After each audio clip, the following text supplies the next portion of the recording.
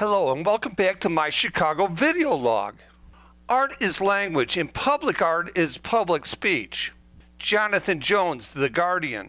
Join me as I tour Chicago's public art, from the Daley Plaza to the Adler Planetarium. First stop, the Daley Plaza at Washington and Dearborn. Unveiled in 1967, the Picasso was Chicago's first real piece of modern public art. On that day, business as usual changed for Chicago's public spaces. Prior to the Picasso, Chicago's outdoor sculptures were monuments of historical figures from the past. With the Picasso, Chicago now had high art as public art. Chicago had elevated its cultural standing. At that moment, Chicago became world class. Two blocks south at Adams and Dearborn, Federal Plaza features Alexander Calder's Flamingo. Calder's landed on a large plaza next to Mies van der Rohe's Kluczynski Federal Building. Like the Picasso, there's no rope or rail around the piece. Flamingo allows you to roam around, through, and underneath of it. On the way to the museum campus at Roosevelt and Columbus,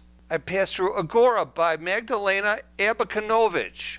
In ancient Greece, the Agora was the main gathering place in town. The Greeks' Agora was the center of artistic, spiritual, and political life. Chicago's Agora feels primal, primitive, and somewhat ancient. The headless, armless figures speak to one's intellectual self. Chicago's Shedd Aquarium beckons visitors with Stephan Balkenhol's bronze man with fish. Welcoming the tourist, the fountain informs the viewer of what's to come. It stands watch at the aquarium, after all. Adler Planetarium, last stop, end of the line. Henry Moore's stellar cast bronze sundial. Man enters the cosmos. Conceptually fits its location. Cosmos informs that this is a planetarium. Cosmos signifies man's knowledge of the universe. I stretched out my legs while filming Chicago's public art. Go on and walk through it. Breathe it in. Acknowledge your intellect. If you like public art, hit the like button. And we'll see you next time on my Chicago video log.